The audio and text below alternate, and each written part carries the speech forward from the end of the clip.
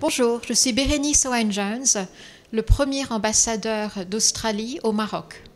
Alors, euh, l'ambassade euh, est une nouvelle ambassade ici à Rabat et euh, nous avons ouvert l'ambassade en reconnaissance du fait que le Maroc est un pays très influent, un pays en plein essor, un pays moderne. Et nous, travaillons, l'Australie et le Maroc ont d'excellentes relations bilatérales, mais nous travaillons à une plus grande reconnaissance mutuelle entre nos deux pays.